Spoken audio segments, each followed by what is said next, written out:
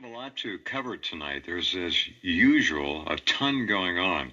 Last night, I played an excerpt from a very provocative, chilling video entitled How It Will Go Down for most of us. And I mentioned last night that the video reminded me of a 1950s era sci fi end of the world movie, maybe black and white. And if any of you are film buffs, you may remember The Last Man on Earth. I think it was 1957, starring Vincent Price. And it had to do with a, a plague that wiped out virtually everyone. And Vincent Price was the the last man. Very interesting, very dark. How it will go down and I had some comments from people last night. It was it was quite compelling. We have it up listed with our first guest tonight. He is Stefan Verstappen, who is back. He's he was on the program once before several years ago, and produced this and sent it to me a couple of weeks ago, and I listened to it, and it's uh, it's it's extraordinary. It is compressed.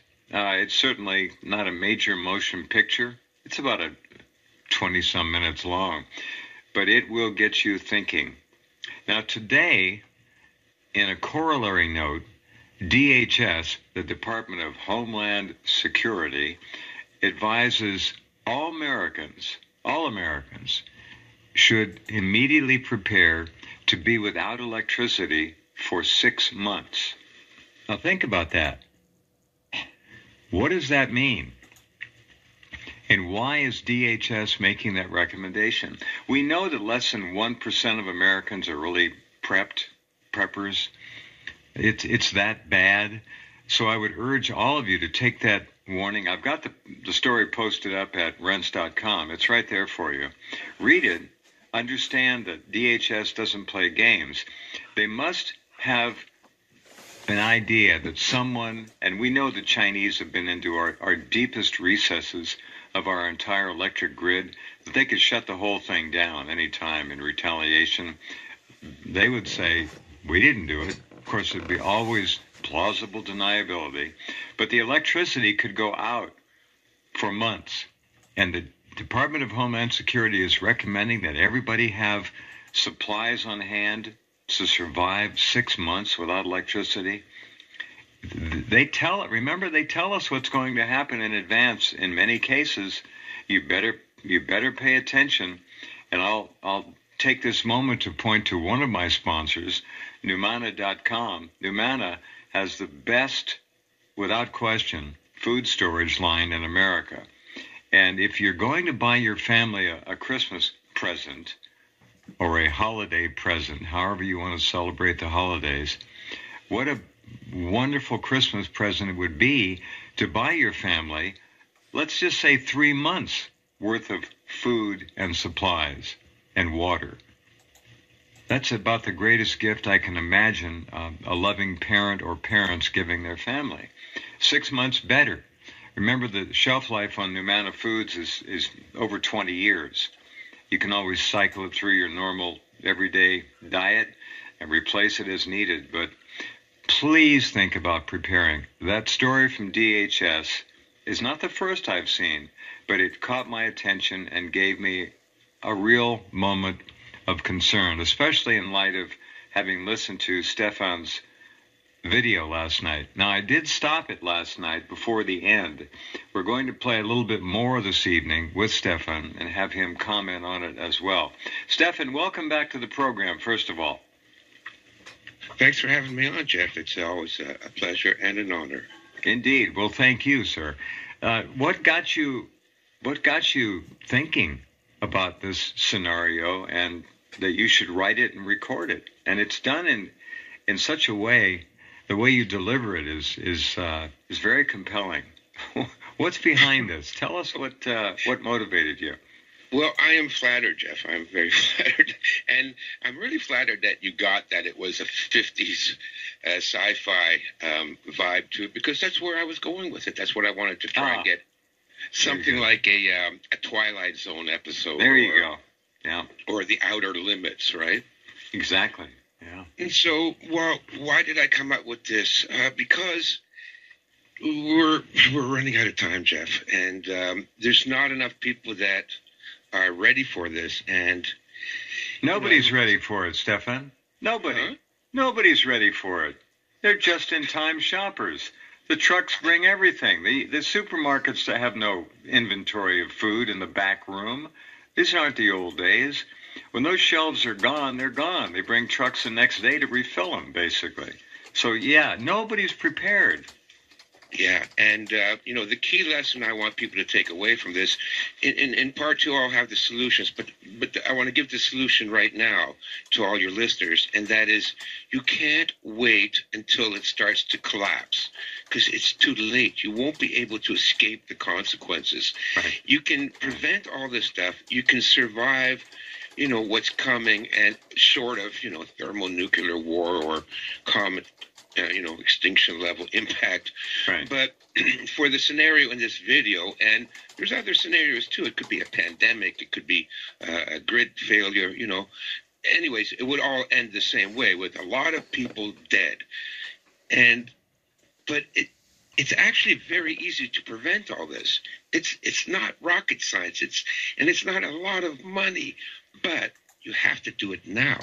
You you need at least a three month lead in time to get ready for this, and then you can survive. But if you wait, you know, I get that all the time. Well, you know. Um, it hasn't happened yet, and I'm sure everybody will pull together when it does. No, no, no, it'll be too late then, and there'll be no escape. I mean, well, for a few people that are really tough and or maybe ruthless. So, why did I make this? It's my last effort, Jeff to uh, you know wake people up. And you know, I've been a survivor survivalist long before preppers came around. There were us people, and we called ourselves survivalists. You know, uh-huh, uh-huh, and sure. uh, you know, we knew how to live out in the woods. Uh, we had first aid skills, we had firearm skills, we had cooking skills. You know, um, know how to use a ham radio. So I've been at this for you know 45 years, and then I've also been a conspiracy theorist as well. You know, I, I knew Kennedy was uh, not shot by Lee Harvey Oswald when I was 15. You know, how about how about conspiracy researcher? You're not a theorist. These things are real. You're a researcher like I am, and like many of our listeners are. Absolutely, because if, if, people understand how the world works, everything is a conspiracy. It's it's not a theory. They there's always evil, sinister characters plotting some, you know, dastardly deed. That's you know, read any part of history for the last four thousand years. It's all been a conspiracy theory. No, nothing is left to chance. I want to underscore that. I do it often. Nothing of any significance is left to chance, and anything of any consequence that might arise from populism or nationalism is immediately penetrated, co opted, and taken over. Absolutely. By you know who, all right? Yes, I do. Those whose names must not be spoken. Um, yeah, and, you know, uh, just a, an aside, this is why I believe in a leaderless revolution because as soon as you organize, you're going to be subverted, penetrated, infiltrated. You know. Anyways, so that's a whoa, whoa, whoa, whoa. Now, that's a very good point. Very good point. Anytime a demagogue or a hero arises to lead the masses, uh, that should alarm you. Uh, yes. A leaderless revolution is the only valid, legitimate one that, that can't be co opted. Think about that. That's very interesting. Yeah, no, uh, and and I've been fighting the leaderless revolution my whole life. I, you know, I boycott companies that I know are part of the, you know, the new world order. I speak to people where whenever I get. I mean, I talk to the cashier at the grocery store. You know, and uh, talk about uh, you know the way the world is, and I especially have a good time with the bank tellers because I always tell them, you do know you work for the most evil institution in the country, right? they are they are they are all so many of them are very nice, but my God, are they dumb? And I don't mean dumb in a negative sense, just uninformed dumb. They just don't yeah. get it. You know, I said, I don't mean that you're evil, but you do understand that your bosses are evil. I used to ask my bank manager, what do you know about the Federal Reserve? Nothing. About central banks. Nothing. Absolutely nothing. Nothing. No. No, I, I used to be good friends with my old bank manager, Luke Solda. He ended up uh, quitting the banking business and opening a pizza parlor. but good for good uh, for Luke. Yeah. Good for Luke, uh, and a great guy. That's why I quit the banking business. But they didn't know anything. No. No. No. So, as part of the, uh, you know, and then 9/11 Truth. I've been part of that. You know, uh, I knew it was an inside job, and I'm not saying this to prove how smart I am or whatever. But the day I saw and I watched it live, I was in California, up on the mountain in Ojai, and uh, my wife woke me up at six o'clock in the morning. Oh, you got a something big's happening. So we watched it live. When that first tower came down into its own footprint, I went, no, no, that that could never happen. Not a chance. Not a chance. I mean, I, why am I a design engineer? No, you know, I'm just I just have common sense and, and woodworking skills. You know, I, I'm pretty good at fixing things. It could not come down in its own footprint. So then, quickly through my mind, what am I going through?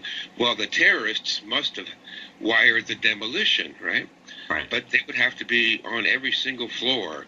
How are terrorists going to, you know, put uh, uh, explosives on every floor and not be noticed. So then I went, well, it wasn't terrorists then. It was somebody else that put those explosives in. And then when the second building came down in its own footprint, it's like lightning striking twice in the same spot. Mm-hmm. I mean, mm-hmm. the odds of that happening are so far fetched. And then building seven, you know, it's like, to me, what it was is the New World Order saying, yeah, yeah, yeah, yeah, yeah.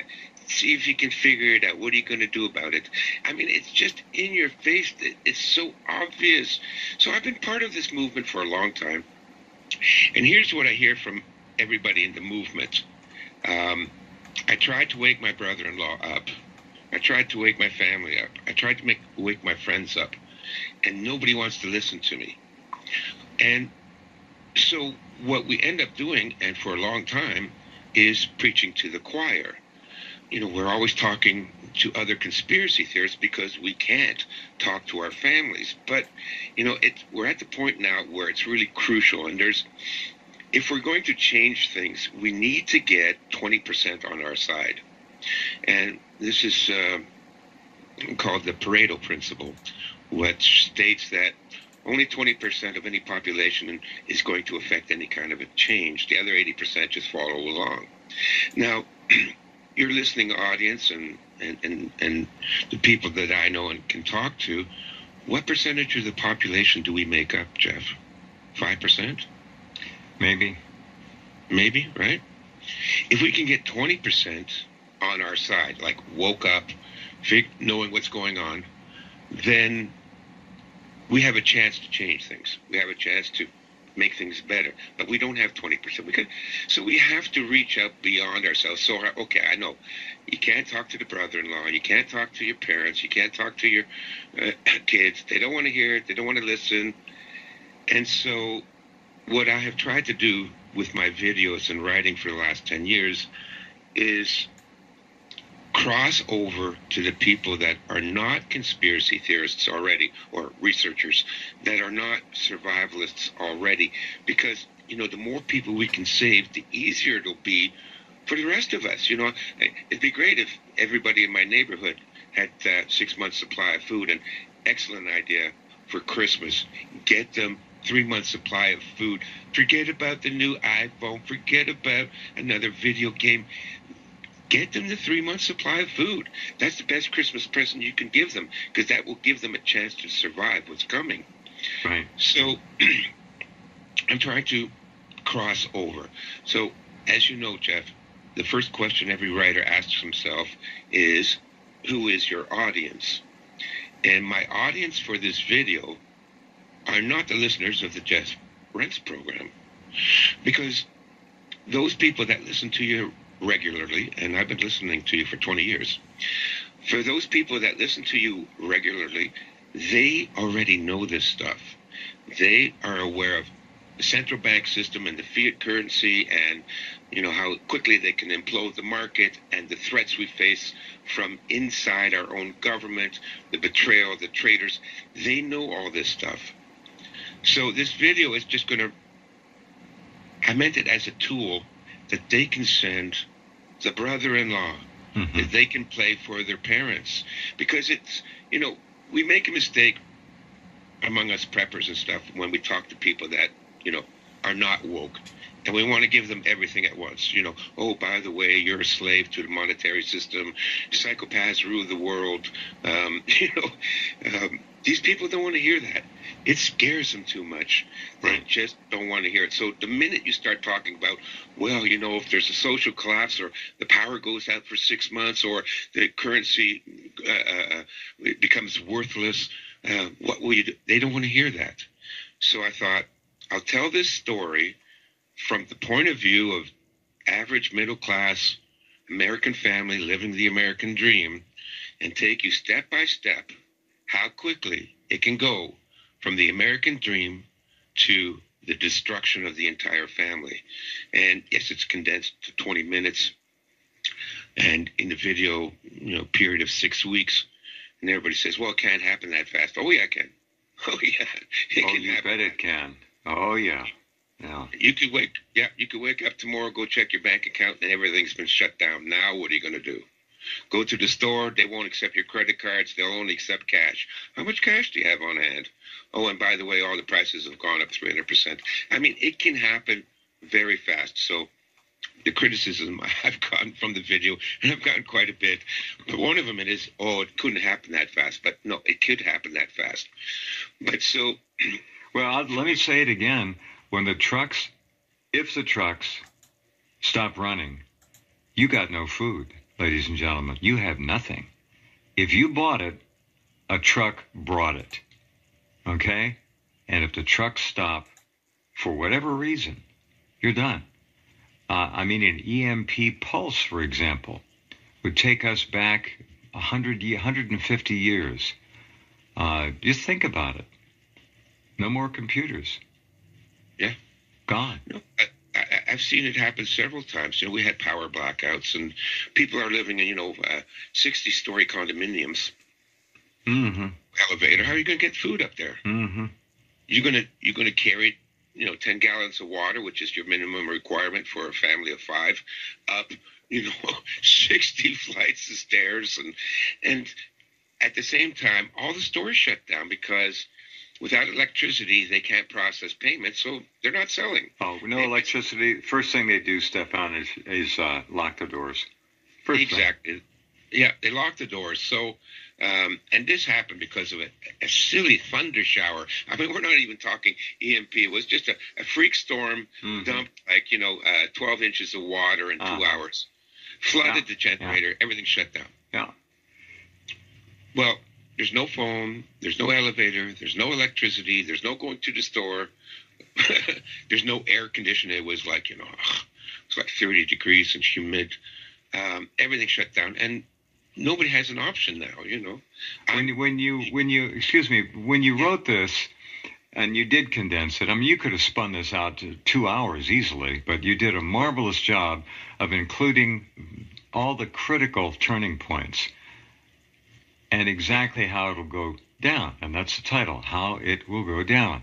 It's all there. Uh, if you look under Stefan's name and guests, and just go there at your convenience later tonight or tomorrow, and do share this.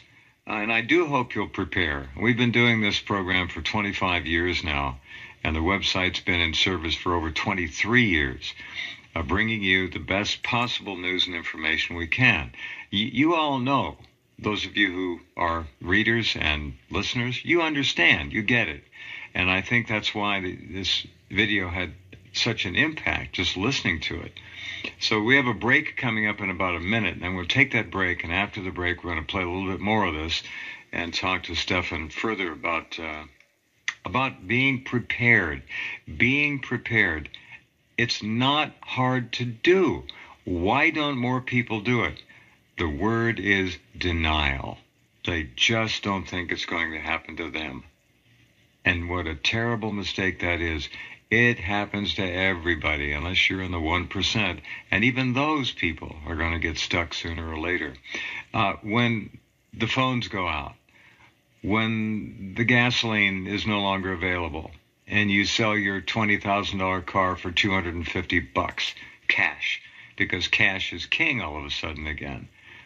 It's all in it's all in Stefan's story how it will go down.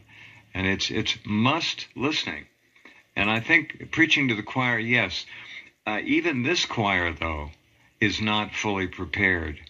I would I wouldn't even know how to project a guess at what percentage of all of you listening are prepared and ready. It's it's certainly way above the norm in this country.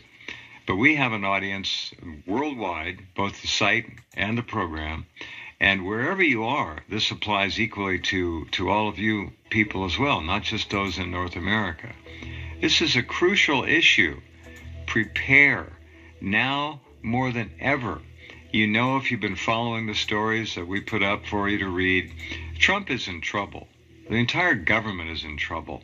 It no longer represents the will of the people. It's not our servant anymore. It serves the corporatocracy, international globalism, big business, whatever you want to call it, and above all, the banking cartel. They don't give a damn about us. We are nothing. The value of human life to those alleged people is zero. We're just numbers and digits in their software inventory and portfolio. That's it. All right, hold on just a minute. Uh, Stefan and I will be right back. We'll play a little bit more of how it will go down right after this. Back to business here. Uh, Stefan Verstappen is our guest tonight, this first hour, and I'm going to go back to the uh, the video. I've got it set up, I think, right where you want. So, any intro uh, do you want to do? Well, this is at the very end of the video. Uh, it's it's really depressing, but it's the events that lead up to the end, how fast it can happen to you, right. and how innocuous it all starts off as. It's it's you know you, you you get a slight feeling that something might be going wrong, and boom, bang, the next minute you know you're wiped out. What a drop! 20 minutes straight down. It's just uh, it's it's quite remarkable. Uh, extremely uh, realistic in so many ways, and all all viable. These aren't just sci-fi things. These are all viable. Every well, development I've lived through all those events, Jeff. I've yeah. lived through them, and I even came close a couple of times to committing suicide. You know. Yeah. Uh, oh, there'll be a lot. There'll be a lot of those. Yeah, I know. And, and and then if you don't, you know, a lot of people say to me, "Well, you know, it can't happen here." What do you mean it can't happen here? It's already happened, and it's happening now. Go to the nearest overpass. Look underneath. You see all those tents? Those are homeless people. You think they got there because they wanted to be there? You know, it's because, you know, the breadwinner of the family got sick and they couldn't afford the medical bills. And now they're out of the house, they're out of everything, and they're living under the goddamn overpass. It's happening now. Yeah. Yeah. We've shown uh, video of downtown Los Angeles, for example, mile oh. after mile. Uh, the sidewalks just covered with tents, uh, black plastic coverings, for people to live under, allegedly. Tens of yeah. thousands of homeless. California is, is essentially gone. I know. We're, I, I lived there for 12 years, Jeff. Yeah. And, you know, from uh, LA to San Francisco and mostly in Ventura County, but even in I am from Santa Barbara. Yeah. Oh yeah, I got friends in Santa Barbara. Mm-hmm. I used to go up there all the time and uh, bicycle down the mountain there. Yeah, yeah. yeah. You mean 154? Oh, a dirt bike on bike paths, or did you? You yes. didn't go down 154. Oh, okay, all right. No, no, I only ride a, a, a mountain bike. Yeah, I, have ridden all through the mountains up there. You know, Malibu and. Uh huh. Uh huh. Oh, you know the country very well. Yeah, yeah, beautiful country up there. You know. Oh, it's it's very pretty. We are in a drought situation here again. Uh, artificial drought. We've had a few rain fronts come through, but there's no rain in them. I think we might have had an, inch of rain in the last two months. Should have started in September. I'm up in the northwest now, so but it's bad. It's bad. All right, here we go. Let's uh, cue this up. Uh, I've got it right, I think, and we will uh, play several minutes of this for you. And you're welcome to listen to the whole thing anytime at all. And please do. And don't forget, share it. Here we go. When he arrived home, there was an eviction notice on the front door. Mom was found rocking back and forth with her remaining child held in her arms. She was silent, her face frozen in despair. Dad buried middle daughter in the backyard.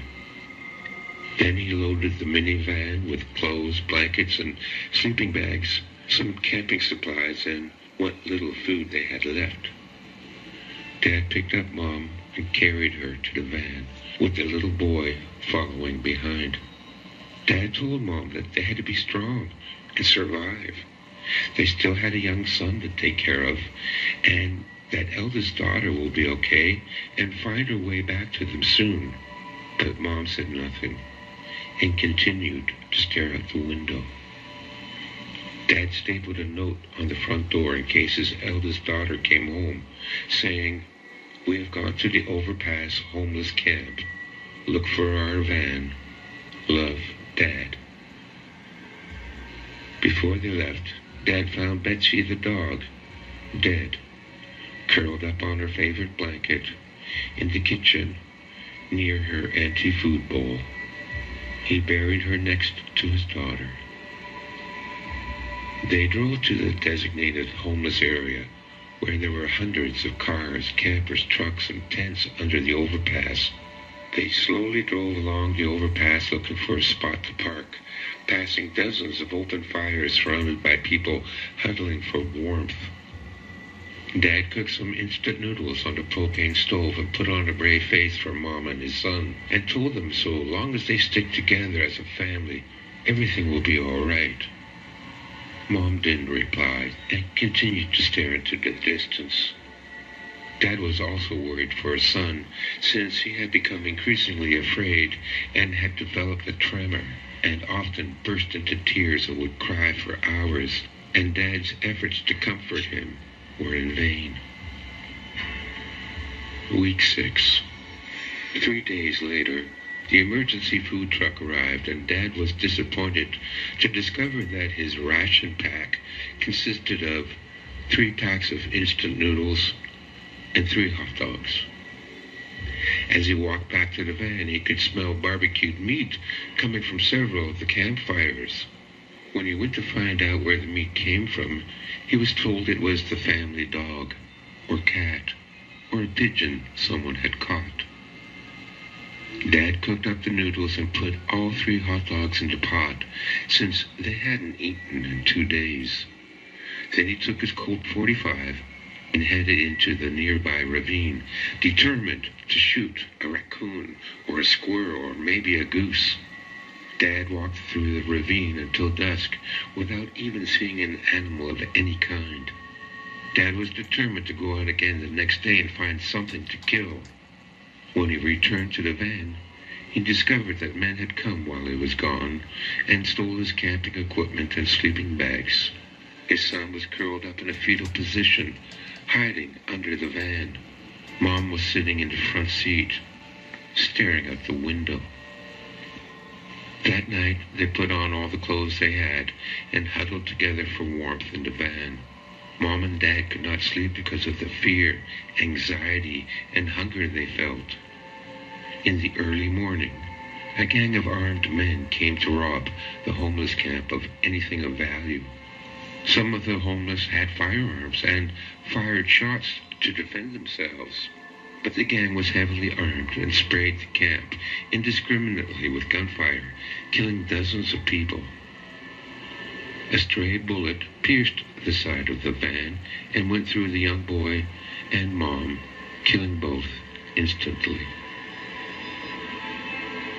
Clutching the bodies of his wife and son close to him, Dad watched the sun come up and then went to bury his family in the ravine. After he was done, he put the barrel of his Colt 45 to his temple, and his last words before pulling the trigger was, I am so sorry.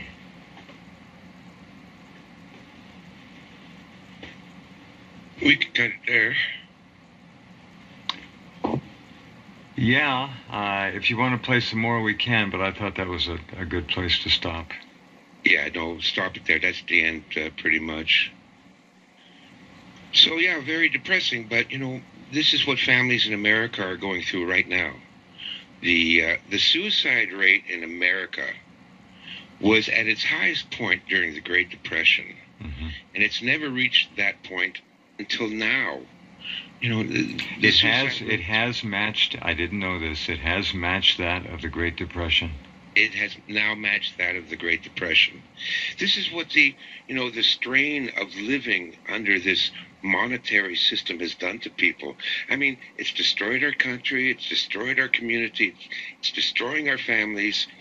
And you know all this. Uh, you know, I have a video out why we are poor, where I show very clearly that 80% of everything you earn and spend goes to taxes. I mean, everybody thinks, oh, well, it's 40%. No, that's just your income tax. It's not state tax. It's not road tax. It's not property tax. It's not hidden tax and, and, and, and everything else in between. You know, a driver's license is a tax, you know. Uh, and, and all the other licenses you need and the cost of compliance it adds up to 80 85% of everything. The government is sucking it away from you and that's why people are going insane. That's why our, our society is collapsing. That's why the suicide rate has is skyrocketed. But you know the other thing that we don't take into account you know we think about all the people that kill themselves and and are homeless and all that but the drug addiction the alcoholism, and then the broken families that Things you don't hear about. They're hidden by the MSM. They won't tell us. They don't. They keep that well out of sight. Yeah. I know a lot of families destroyed. I, I, I have a very good friend in St. Louis. He deals with. Uh, he's a drug uh, intake counselor. You know, you know, even here in Canada, my God, every small town. Uh, and I mean, we're talking rural, you know, Eskimo towns across the country is dealing with a major meth and opioid addiction problem. It's it's huge. People are ODing. People are destroying their lives with these drugs. Mhm. Why? Because of the stress. Our society is so poisonous. It's so miserable that everybody is drinking themselves to death and drugging themselves if they're not shooting themselves. Um, you know, that's what this is all from, you know. So, um, Stefan, today in the market, just as an aside, I Yes. watched people uh, with their shopping carts, and I saw more than a few with six and seven and eight bottles of wine. Lots of wine. That's to anesthetize people. They- They are in such grieving pain, many of them, anxiety, stress, unhappiness, uh, misery. I looked around for a happy face. I couldn't find one. And I looked again, and here comes a, a nice looking middle aged woman. There were eight bottles of wine in her food cart. Yeah, sure.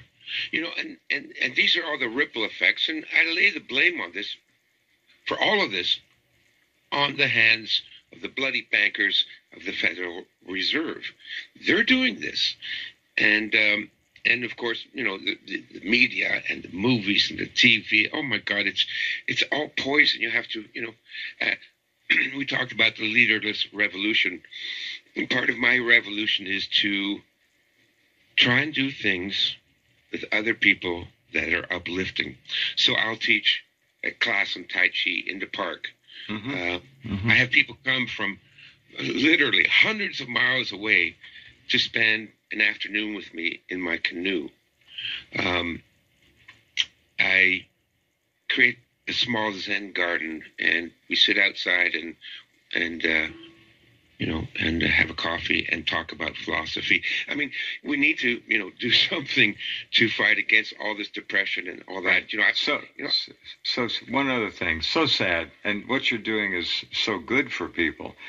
The point here is most of us, and I speak in general terms here, are so addicted to their smartphones, their tablets, their computers, their big screen TV, their sports, all diversions.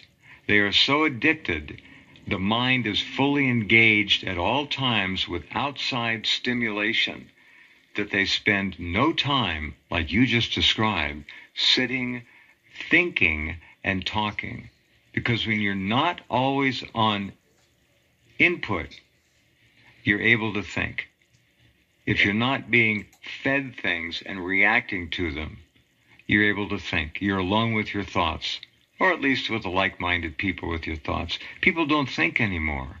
This is a generalization, but they basically re- they go through life reacting to carefully contrived, and you talk about toxic stimulations of millions of types. That's what they're that's what they're addicted to. Go ahead. Yeah. And it's all poison, you know. And the other thing is to spend as much time in nature as you can. I, I, I sit out in the garden so much that I've trained the local chipmunks to jump in my hand.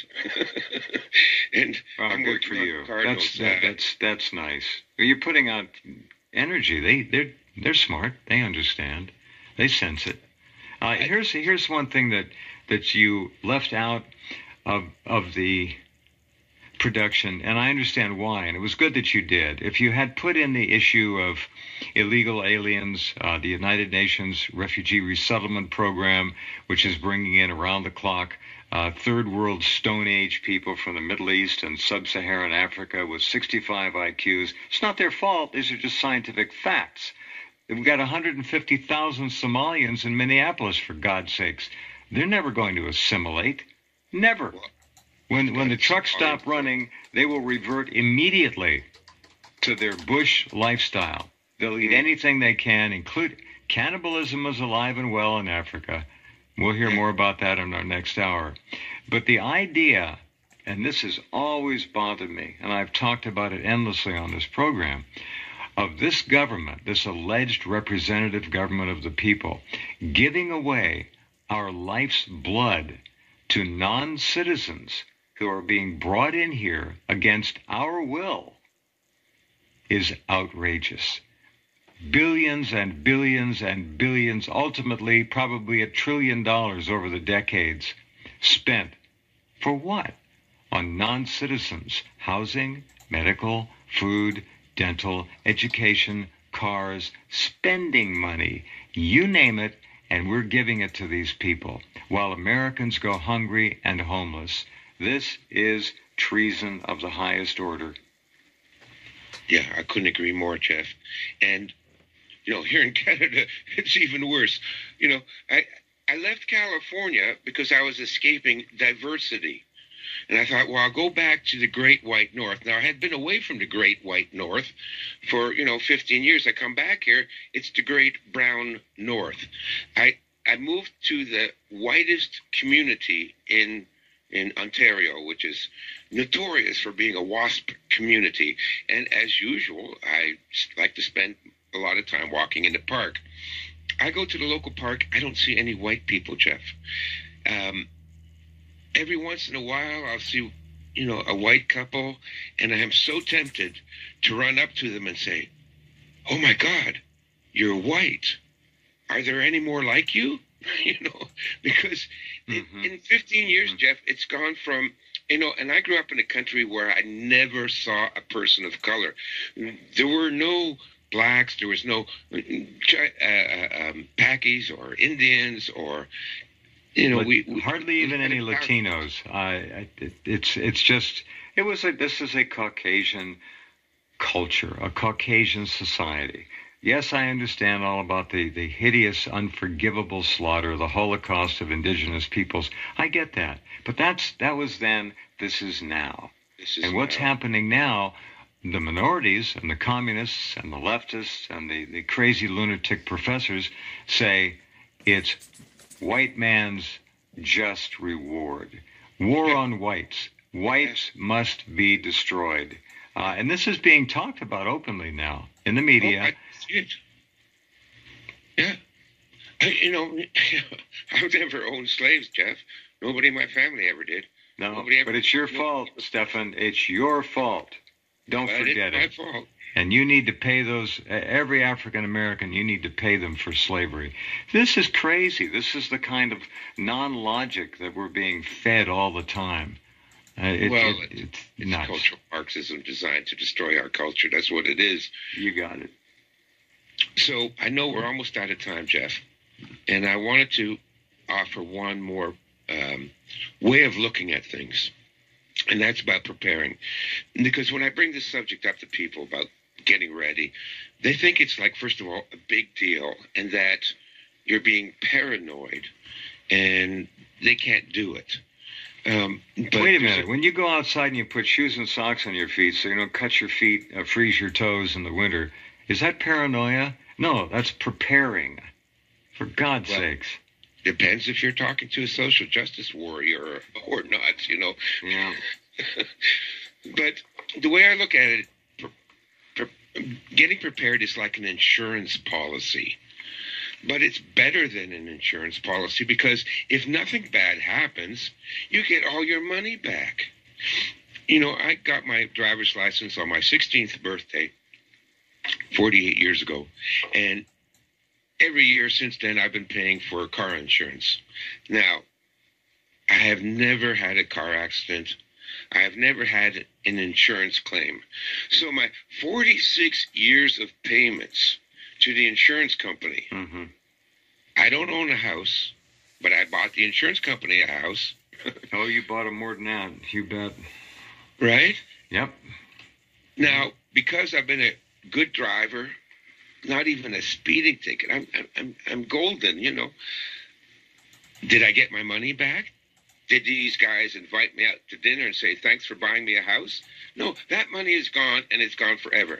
Now, let's say you buy six months worth of food from Numanna. It's good for 20 years. You hang on to it five years from now. Jesus descends from the clouds, creates a, a paradise on earth. You don't need the emergency food.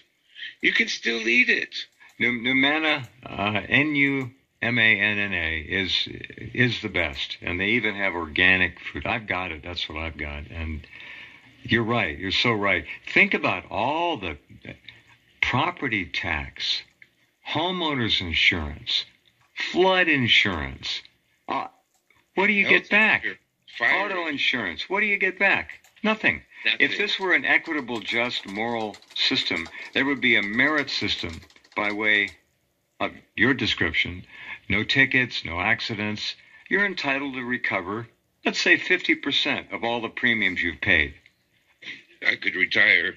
You could, and that's the way it should be. Social Security is being looted as we speak. We know that. We're $22 million in debt. Never get out of it. 50 million American young people have student loan debt now, 60, 75,000. I forget what the average is now. They'll never get out of it. They're indentured servants and slaves to this system. Uh, we are not investing in our future. We are indenturing our future with these student loans, and it is uh, it couldn't be more odious or evil. It just couldn't be. It's all set up. You know, To 20 years ago, destroy I us. never imagined it. Yeah. Yeah. So that's, you know, that's the, the viewpoint you should go into for the listeners is this is an insurance policy. If nothing happens, you can still eat the food. You're not out any money. But if something does happen, it's just saved your life. Same thing. Okay, so buy a shotgun. You know, get a Mossberg 500, 250 at the at the big five. You know, what's 250? It's nothing, right? No, nothing. I, I, yes, Remington 870, probably the best shotgun ever made. I, I uh, went from a 12 to a 20 gauge. Uh, it's easier for women to handle. It's just about as good Yes. as a 12. Uh, it, Yeah. The point is that's that's probably the overall first weapon of choice to defend yourself. Yeah. If I would were to advise people, and like I said, I've been a prepper for a long time. Yeah. I would say first gun to buy, shotgun. Yeah. Yeah. So let's say you buy the shotgun, you're out 250 bucks, and it turns out that the Somalian uh, uh, families that moved in next door are really nice guys.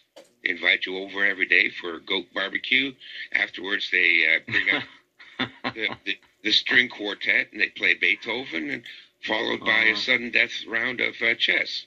yeah. Great, you don't need your shotgun, but you know you can always sell it again. Yeah. Those weapons don't lose. their Oh no, it's in, totally a 100% safe and secure, wonderful investment. Uh, it's a it's a tool. It's like having a, a toolbox, but you got no tools in it. It's another tool, like a screwdriver or a, uh, a wrench. It's a tool. This tool is to protect you and your loved ones. Okay, and that's the only thing keeping us at this point from suffering. Massive gang rapes, crime like Europe has been overrun with. Europeans lost their right to bear arms. That's why they are being destroyed. Oh, it's Yeah. tragic. I, It's- I mean, I traveled throughout Europe many times. I loved Europe. Um, and also, folks, remember, whatever happens, there will be no police. There will be no ambulance.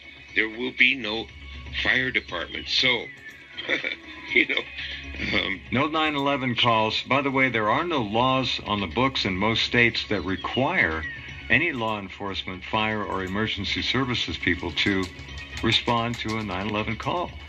It's it's not a law that they have to. They do. It's their job, but they don't have to. So keep that in mind too. and then, you know, the other thing is stockpile any medications that you need to take. So if you're diabetic or, you know, you have a heart condition, hmm you know, get three months worth of that medication because, again, in any scenario, EMP, World War III, financial collapse, all that's going to be gone. So you need your medication and um, get a generator, get a diesel generator. They're like 450 bucks. Yamaha makes a really good one. A diesel, You know, because- four hundred and fifty dollars for a diesel generator. I didn't know this. They're small. They don't have a lot of wattage, but it'll be enough to keep the fridge running and, and run the computer, you know. Yeah. All right. And, uh, good. Name and- name a brand. You got a brand name you want to mention? No, I don't. Right, there's uh, some it- good ones out there, but I, I agree with you about diesel. Uh, Yeah. Much better than gasoline. Yeah, because it runs on anything, right? If it's built properly, yes, it'll run on Yeah. vegetable oil. Yeah, and uh, you know when we had the power gen out, outage where I lived, the uh, the condominium company came in and they set up uh, electric generators, and hmm we had to. But you know what? Um, almost nobody in the uh, uh, complex could take advantage of it because they didn't have extension cords Wow. How to reach ironic. the generator. How ironic. All right, Stefan, thank you very much for doing what you've done. Uh, we'll talk to you again, and I, I hope a lot of people listen to the video and pass it around. It's, uh, it's just essential information. Thank you, Stefan. Thank you, Jeff, so much for having me on. I really appreciate it. Okay, good night. Good night. Stefan Verstappen, V E R S T A P P E N. And his video is right under his name in Guess.